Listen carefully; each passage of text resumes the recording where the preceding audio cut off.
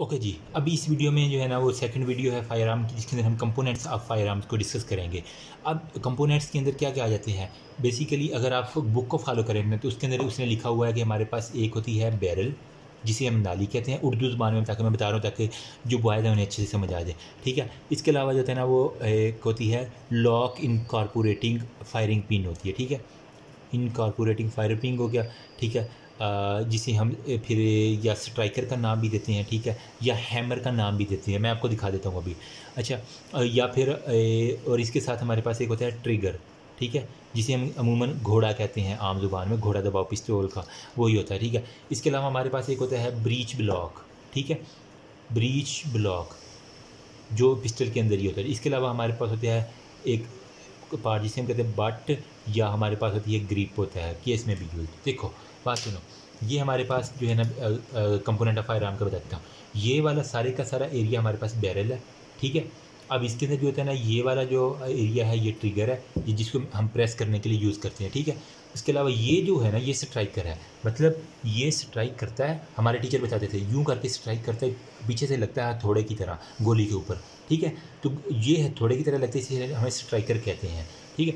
अब इसके अंदर ब्रीच ब्लॉक एक अंदर करके होता है, वो पिस्टल के अंदर आपको दिखाऊँगा मैं, ठीक है? ब्रीच ब्लॉक हो गया और हमारे पास ये बट होता है। मतलब जो ग्रिप करने की ये जो चीज़ है ना, वो कहते हैं पिस्तौल का बट मारा है। तो वो ये चीज़ जो है ना, वो अमूमन जो यूँ करके मारो, उस सर के ऊपर सर फट जाता है। तो ये वाला जो है ना, वो टेक्निक्स कुछ वो बताते होते हैं, ठीक है? अगर आप सेल्फ डिफेंस केयर के अंदर देखें तो ये वाली चीज़ें हमारे पास। अब इसका मैकेनिज़्म ऑपरेटिंग मैकेनिज़्म क्या है? ऑपरेटिंग मैकेनिज़्म में बुक वाला लिखता है, सबसे पहले हमने जो है ना, इसको लोड करना है।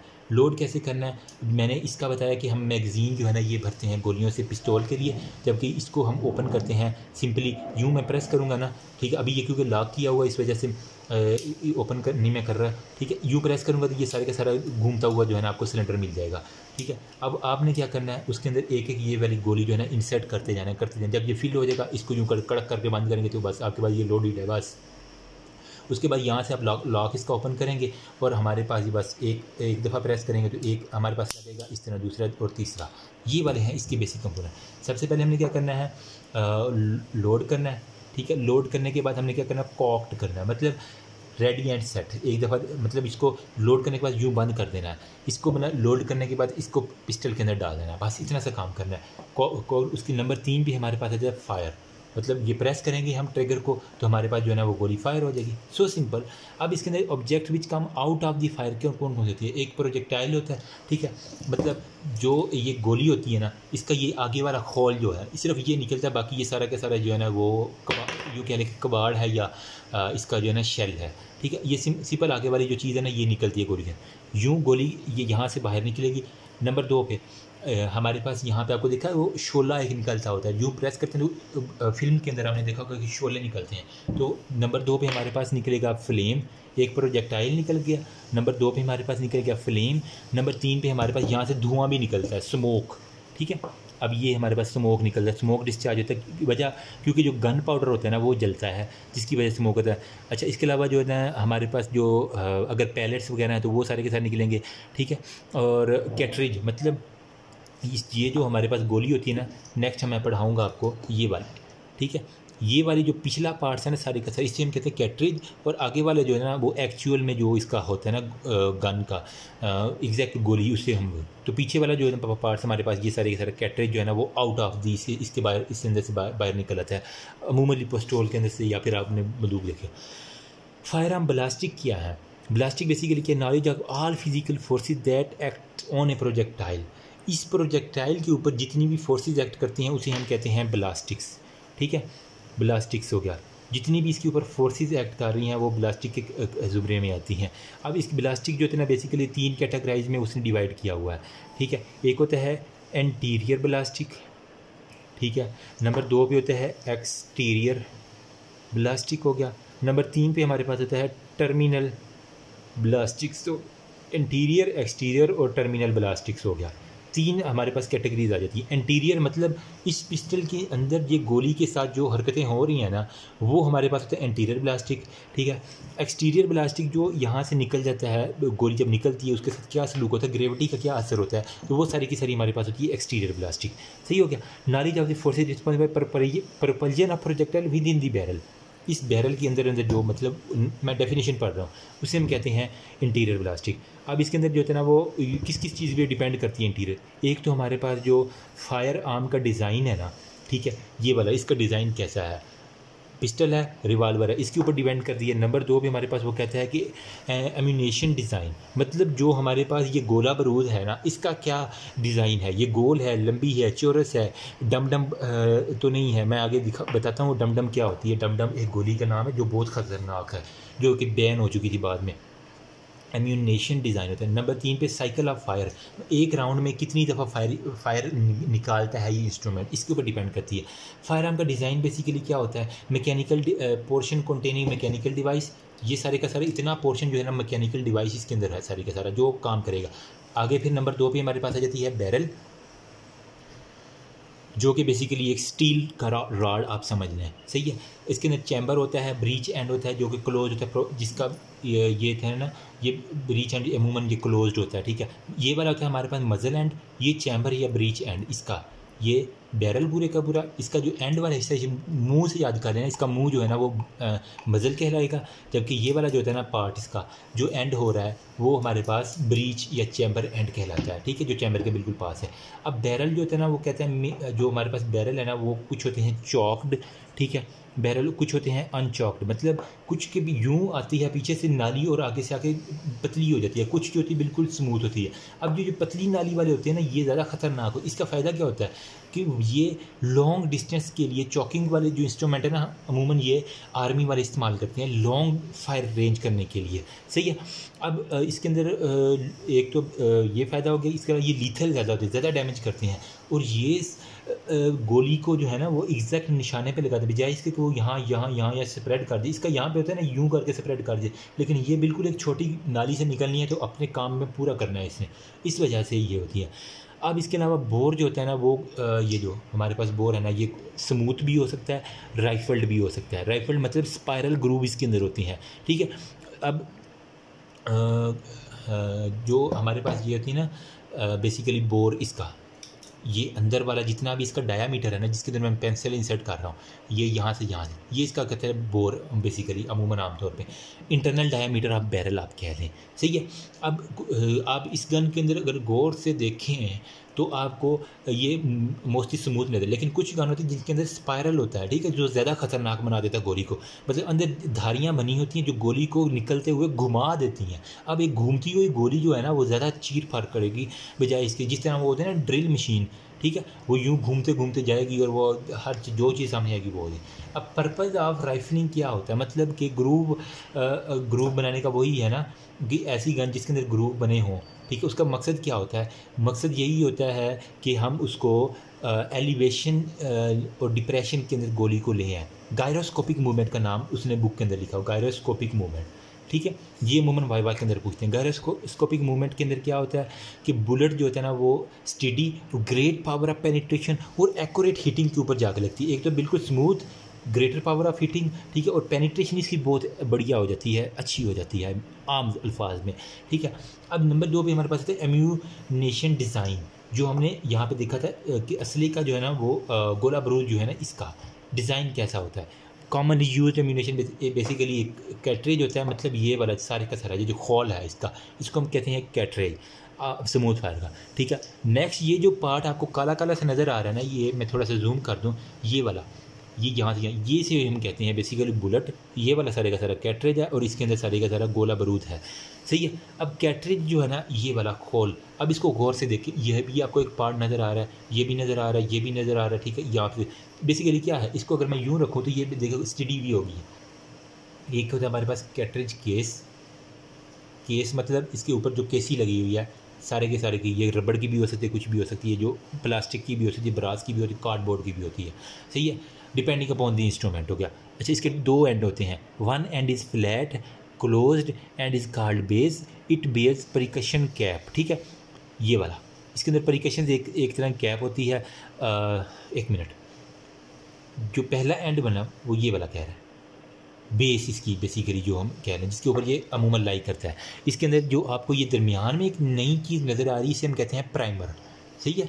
ये जो आपको चीज़ नज़र आ रही है, इसे हम प्राइमर कहते हैं। बाकी ये सारे की सारी जो है ना, वो इसकी फ्लैट एंड क्लोज्ड है और इसे हम बेस कहते हैं, जो अमूमन बेसमेंट के ऊपर ये है ना, जिसके ऊपर सारी की सारी वो जो होती है। ठीक है? सेकेंड हैंड जो होता है ना, वो क्लोज होता है और इसके ऊपर कंप्राइज करती है एक डिस्क होती है वो। अब इसके अंदर होता क्या क्या? है अगर इस गोली को मैं खोलूँ ना, जो अमूमन अभी पॉसिबल नहीं है, हमें गोली ज़ाया करने वाली बात है अगर इस गोली को मैं खोलूँ, इसके अंदर हमें मिलेगा एक गन पाउडर मिलेगा, ठीक है? मैं लिख देता हूँ, एक हमारे पास होगा गन पाउडर एक तो आपको मिल जाएगा अच्छा सा। नंबर दो पे प्लास्टिक वैड ठीक है? मतलब जो इसको इस, जो प्राइमर है ना, इसके बिल्कुल आगे भी एक इस तरह छोटा सा करके हुक सी होती है, जिसे हम कहते हैं प्लास्टिक वैड जो कि अभी ये गोली क्यों नहीं चल रही? वो प्लास्टिक वैड की वजह से नहीं चल रही, जो इसको प्रिवेंट करती है प्राइमर को कि तुम अगर ये गर्म हो भी जाए तो प्लास्टिक वैड जब तक ना हो, उस उस तक एग्निशन नहीं होती। सही है? और नंबर चार पे जो पैलेट होता है, ये वाला जो आगे वाला इसके अंदर जो है ना, वो शरे जिसे हम कह लेते हैं। अगर आप बंदूक की गोली देखें ना रेड कलर उसके अंदर शरे होते हैं, छोटे छोटे छोटे छोटे छोटे छोटे, जो कि स्प्रेड करते हैं। तो वो होते हैं गन पाउडर हो गया, शरे हो गए पैलेट्स हो गए, बस सारे अब बुलेट जो होता है ना, ये क्या होता है? ये कंप्राइज करती है निक ये वाली जो, ये, इसकी बात कर रहा है बुलेट की। ये बेसिकली आपको देखने में मिली है, बहुत सॉलिड मतलब जिसके अंदर यूँ करके लगेगी ना, खुदा ना खास्ता तो डैमेज उसने कर रहा है। ये made up of nickel copper nickel alloys की मिलकर बनाई होती है, ठीक है? बेस के ऊपर जो हमारे पास जो है ना, ये प्राइमर नज़र आ रहा है। पॉइंटेड टिप नोज़ ये वाली जो है ना आपको नोज़ आ रही है। लेड का कोर इसका नज़र आ रहा है, ठीक है? जो इसको वेट प्रोवाइड करता है कैटरेज की वो सारे का सारा आपको ये मिल रहा है पीछे इसके ठीक है? अब एम्यूनेशन यूज़ इन राइफल डार इसकी टाइप कौन कौन सी ये तो मैंने आपको रिवाल्वर की दिखाई है ना गोली। इसकी टाइप्स की अगर मैं डिस्कस कर लूँ ना तो वीडियो कितनी अभी ग्यारह मिनट की कोई बात नहीं पंद्रह मिनट तक जाते हैं ठीक है? अब आ, मतलब जो अम्यूनिशंस की जो डिज़ाइन है ना इसके ऊपर राइफल फायर आर्म को जो है ना हमने डिवाइड किया हुआ। कुछ हमारे पास जो बुलेट्स होती हैं ना वो होती हैं जैकेटेड मतलब जिसके ऊपर जैकेट होती है। नंबर दो पे होती है डम डम बुलेट डम डम बुलेट्स बहुत ये फेवरेट जो है ना वो वाई क्वेश्चन है डम डम बुलेट्स क्या होती हैं? इसके अलावा हमारे पास होते हैं कुछ एक्सप्लोजिव ठीक है? एक्सप्लोजिव बुलेट्स होती हैं। इसके अलावा हमारे पास होती है कुछ फ्रेजाइल बाल फ्रेजाइल बाल्स होती हैं। कुछ हमारे पास होती हैं बैटन राउंड्स ठीक है? जैकेटेड डम डम एक्सप्लोजिव फ्रेजाइल बैटन इसके अलावा हमारे पास आर्मर पायरेसिंग बुलेट्स हो गया, ठीक है? आर्मर पायरेसिंग बुलेट्स हो जाती हैं। उसके अलावा हमारे पास कुछ ट्रेसर बुलेट्स आ जाते हैं, ठीक है? ट्रेसर बुलेट्स आ जाते हैं, ठीक है? और इसके अलावा कुछ हमारे पास आ जाती हैं incendiary bullets incendiary bullets और आई थिंक ये सारे के सारे कंप्लीट हो चुके हैं, ठीक है? जैकेटेड में क्या होता है? जल्दी जल्दी बता देता हूँ। ये इसके अंदर कुछ हमारे पास होती हैं फुली जैकेटेड होती हैं, ठीक है? कुछ हमारे पास होती हैं पार्शली और कुछ हमारे पास होते हैं अनजैकेटेड जिसके ऊपर जैकेट चढ़ी होगी, ठीक है? आपको मूवमेंट देखने को मिलेंगी, गोली जो जैकेटेड होती हैं।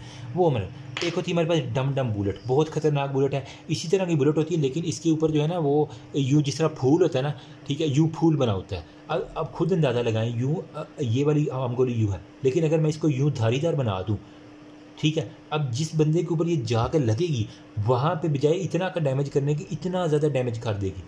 कितनी खतरनाक गोली होगी। ये वर्ल्ड वार के अंदर यूज़ की गई, लेकिन बाद में इसको बैन कर दिया गया था। ये एक साइंसदान था ब्रेटिक कैले 1890 में कैप्टन था आर्मी का, ठीक है? उसने ये डम डम बुलेट को डिस्कवर किया, इसने फिर वो गोलियाँ चलाई भी। उसके बाद जब डैमेज देखा गया तो बहुत ज़्यादा डैमेज था मतलब जो कि रिकवर नहीं हो सकता बंदा उससे। तो इस वजह से इस बुलेट को बैन कर दिया गया। चल चलाने वाले चलाते हैं अभी भी। एक्सप्लोजिव बुलेट्स में क्या होता है? अगर ये वाली बुलेट एक्सप्लोजिव है ना, यहाँ पे अगर मेरे हाथ पे हिट की है तो हिट करने के बाद ये यहाँ पे फट जाएगी धमाके की तरह। इसको हम कहते हैं एक्सप्लोजिव बुलेट बेसिकली ये भी ये यूएस वालों के काम है। मिस्टर रोनाल्ड रेगन ने जो है ना इसको एज यूज़ किया। फ्रेजाइल बुलेट्स क्या होती है? ये बेसिकली जो है ना वो ट्रेनिंग सेशंस के अंदर हम यूज़ करते हैं, ठीक है? अगर आपने राउंड लगाना है ना, ठीक है? या जस्ट फॉर द फन ठीक है? ट्रेनिंग वगैरह करनी है। और इसके अंदर पेंट वगैरह आप कह रहे हो। बैटन बुलेट में क्या होती है? बैटन बुलेट के अंदर बैटन के लिए बेसिकली जो है ना, रबड़ की गोलियाँ आप जिसे हम कह रहे हैं ना, ठीक है? वो रबड़ की गोलियाँ। आर्मर पैरेसिंग बुलेट में क्या होती है? ये मिलिट्री बुलेट होती है to penetrate the light steel armour हो गया। ठीक है? ये हमारे पास होती है आर्मर के मतलब जो लाइट स्टील के अंदर जो है ना वो, इन सेंट्री बुलेट्स बेसिकली क्या होती हैं? जो कि किसी, ये तो थी बैटन बुलेट वाली जो थी ना, ये हमारे पास क्या थी? रबड़ की थी एक्सप्लोजिव एक्सप्लोजिव सॉरी ये क्या कहती है वो धमाका कर देती लेकिन ये क्या करती है जहाँ पे जाती हैं, वहाँ पे आग लगा देती हैं। ठीक है? मैंने किसी झोंपड़ी पे अगर गोली मारी है ना तो वहाँ पे जाके अगर गोली लगी है, ये तो सिंपली फटती थी, ये जाके आग लगा देगी। जिसम में आग लगा देगी ये गोली, जो हमारे पास है आर्मर वाली। नेक्स्ट हमारे पास आती है tracer bullets tracer bullet basically क्या करते हैं? ट्रेस करते हैं कोई भी चीज़ हमने देखनी है ना ठीक है? सपोज़ कि मैंने देखना है कि कहाँ पर मेरी गोली लग रही है तो मैंने सिर्फ़ ट्रेस करने के लिए ये गोली मारनी है वहाँ पर जाके ये एक, एक किस्म का पेंट का जिस तरह निशान होता है ना वहाँ पेंट का निशान बन जाए दाग तो अच्छे होते हैं वो वाली बुलेट आप कह लें ये tracer bullet as I remembered हमें जो बताया गया था वो ये ये है एनिमेशन की जैकेटेड इसके अलावा हमारे पास डम डम डम डम के बाद हमारे पास एक्सप्लोजिव एक्सप्लोजिव के बाद बैटन रबड़ वाली जो थी ठीक है फ्रेजाइल थी ठीक है इनसेंड्री थी और ट्रेसर बुलेट थी बस। आसान आसान सी हैं यार, ये बस याद कर लो। जो हमारे पास स्मूथ बोर्ड फायर के अंदर यूज़ होती हैं ना, वो बेसिकली एक तो बर्ड शॉट के लिए हमारे पास आती हैं, ठीक है? जो स्मूथ बोर्ड फायर आम है, वो परिंदे वगैरह को शिकार करने के लिए कुछ, या फिर हमारखोर वगैरह को, जिसे हम कहते हैं buckshot bird shock shot buckshot और इसके अलावा हमारे पास होती है मतलब ये जो हिरन वगैरह को, ठीक है? राइफल्ड स्लग, जो पहाड़ों में जो है ना, वो मारखोर जो बैठे होते हैं ना, उनको लिए वो ये अमूमन यूज़ करते हैं। नेक्स्ट हमारे पास वो टॉपिक है प्राइमर का, वो अगली वीडियो में जाए